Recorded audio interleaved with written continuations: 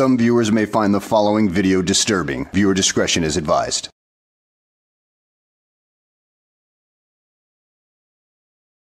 Well, hello and welcome back to the channel, everybody. In today's video, we find ourselves in a courtroom in Kansas where a Sovtard is at a pre-trial hearing to determine whether or not he wants a jury and to plead his case. And, well, he doesn't plead it very well, so let's just go ahead and sit back, relax, and enjoy watching this guy make himself look like a complete and total moron. Next matter is State of Kansas versus Gordon Cooley. Uh, case number is 24TR65. Are you Gordon Cooley? You'll need to unmute your screen, sir. Yes, I am the man that is that person. Well, at least he didn't go for any of that living man BS at this point, you know, separating the corporate from the living self, blah, blah, blah. You know, that kind of bullshit that doesn't exist. Well, So you're Gordon Cooley? Yep. Very well. Uh, State appears by Jill Gillette, County Attorney. Mr. Uh, Cooley, there's been an amended complaint filed on, it looks like April 17th. Um, You're charged with driving while suspended as a second offense as for on or about March the 25th of 2024 in Elk County, Kansas. If you indeed you have a, prior conviction where this would be a second offense, that's a Class A misdemeanor. A Class A misdemeanor is punishable up to one year in the county jail and a fine not to exceed $2,500. Additionally, uh, with a second offense for driving while suspended, there's a mandatory five day minimum sentence. However, a person can be placed on probation from that. Uh, but there, there is mandatory uh, sentence that would have to be imposed. Do you understand what you're charged with? Uh, no, I, I don't quite understand those very. No, I don't. What's your question in regards to uh, what you're charged with? Uh, well, I, uh, I think this is a matter of a, a mistaken identity. Yeah, really, dude? A case of mistaken identity? Then why is your name on this document and that is attached to a fee schedule with the uh, evidence identification number on it. Uh, so, which leads me to believe that it's not a case of mistaken identity, that uh, this was most likely taken off of you during the traffic stop itself. So, it could very well be the truth. Uh, uh, the, my persons was never involved in anything. Uh, I'm carrying my property from point A to point B. Uh, I have no, there's no vested interest of the state to even stop me. I'm not doing, I'm exercising my God given constitutionally protected rights. And I stated that to the man acting as the police officer. I didn't Right. present So him with you are charged, sir. Hold on. You're charged with driving while suspended, a second offense. That would indicate to me that you've had a first offense. No, So have you had been in court before on this type of charge? nope, not on driving while suspended. No, I have not. Well, maybe you should ask your corporate self whether or not uh, they've been driving while suspended, because you know that's not exactly legal in the state of Kansas, nor any state in the union. All right. Well, that is what you're charged with. You don't have to agree with it. You can certainly, that is a, an issue at trial if you feel you have a defense. Uh, as with the others that I've explained, you know, you have certain rights. You are charged with a misdemeanor, so you are entitled to be uh, represented by a counsel. And if you wish to apply for court appointed counsel, if you meet the financial guidelines, I would appoint one to represent you. You also have the right to represent yourself. You also have the right uh, to to have counsel of your own choosing at your own expense.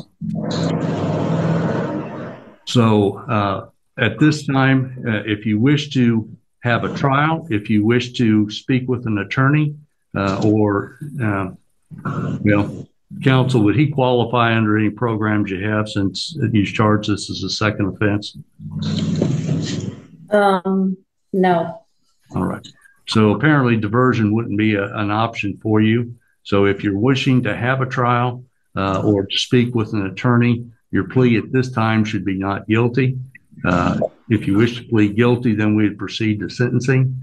Uh, but um, based upon what, what you're telling me, uh, it, it was, th- those would be issues that could be addressed at trial. So, uh, at this time, how do you wish to plead?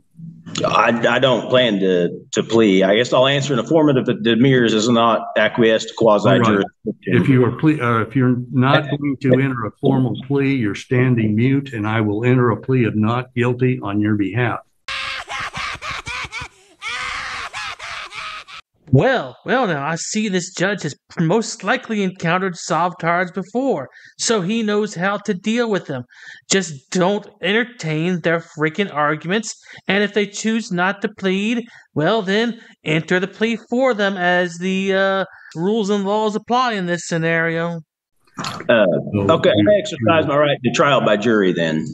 I'd like to face the man or the woman that claims I've done them harm Mr. or Cooley, loss.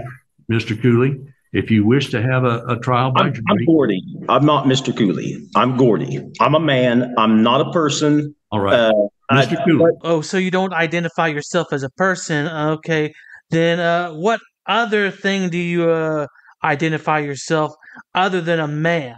Because, well, as a man, you are most definitely a person because, according to this definition, you are a human and humans have genders. And if you are male, then you are man. Therefore, you are a person. So, uh, other than that, uh, what else do you identify as? Do you identify as a Viltrumite, a Klingon, uh, a uh, Vorlon? What do you identify as? Can I ask you a question, sir? you need to be quiet for a moment. I'm going to explain what the, the situation is. You have the right to be represented by counsel. You, you, you entered a plea, uh, refusing to enter a plea, which is fine. You can, a person can stand mute and I will set this matter for trial. If you wish to be rep- or have a jury trial, you have the right to do so. However, you need to do that in the proper form. With a misdemeanor offense, you have to uh, file a written motion for that request. Otherwise, it's set uh, before the court. So you would need to do that in a timely way. If you're going to represent yourself, uh, you would have to follow the rules as though you're an attorney. So all of those things would, you know, most people don't have the training uh, to where if they're going to do a jury trial, they're, they're, you know, they're better off being represented by counsel. But that's a choice that you're going to have to make. Okay, can I ask you a question? Yes, you may. Uh, can there be a valid cause of action without an injured party? Sir, that's not a valid question for what we're doing here today. You, uh, I've, I've tried settling this matter in the private twice. I was, I was, if you have any papers in front of you with my signature on them, it's because that is what was required for me to get away from my captors. Oh, you poor little Sovtard. Doesn't know the difference between kidnapping and a lawful arrest where you break the law, such as you did, and you get uh, put into a detention center temporarily until you can meet certain requirements. Don't understand what a man thinks that he has the authority to take another man and, and throw them in a. Yeah, no victim, no crime. Yeah, that bullshit. Yeah, uh, let's say you run a red light a hundred times and there's no victim, but that one time that you do run that red light and somebody just happens to be there crossing the road because you're not paying attention to that red light because you've crossed there a hundred times, but there's that one time that you should have stopped at that red light, but you didn't. Well, now you've created a victim. So, do you understand that traffic laws are there to help prevent people from getting hurt? It's all about prevention. And if you are unwilling to participate in that prevention, then you don't need to have a freaking driver's license. when they have harmed no man or woman, no Mr. claim Cooley, has been brought Mr. Cooley. against them. you need to be quiet now. We're going to give you a court date and you can advise me how you're going to proceed at that court date. If you're going to apply for a jury trial, then you'll need to make that application by that time. Otherwise, you'll be set for a bench trial. That's before the court. Sarah, could you give us a date, please? What sort of time frame would you like, Judge? 30 minutes? Approximately 30 days, 30 minutes would be fine. We can do May 15th at 2:30.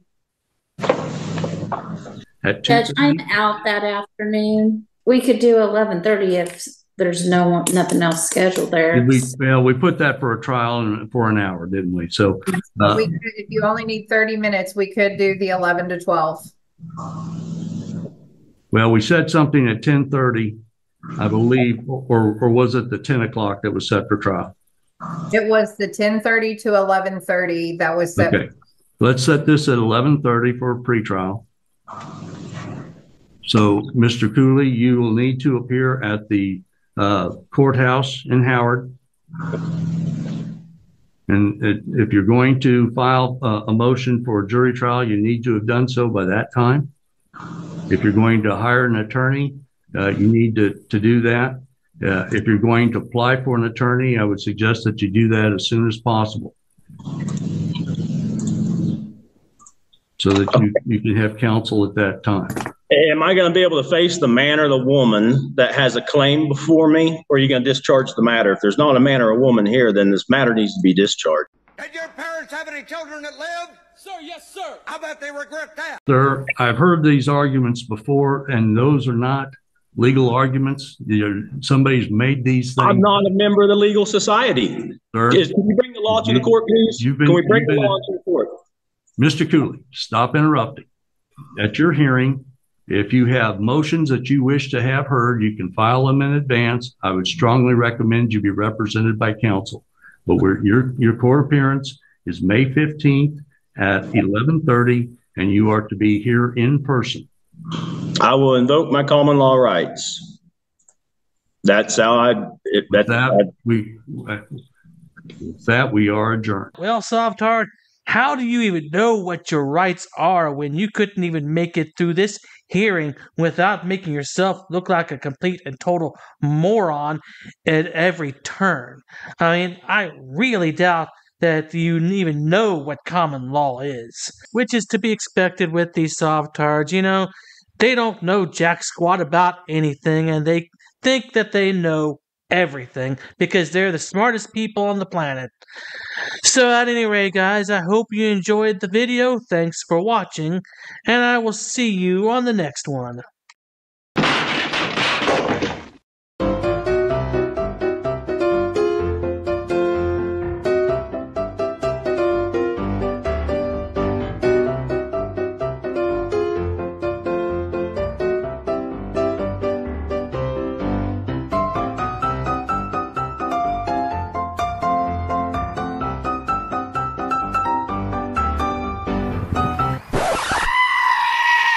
Dude, so there's no way I can get in, bro? Come on, I'll put you on my YouTube. But shut up, Wesley. You gotta put signs up, ma'am. If it's Are you Glenn Serio? who's that?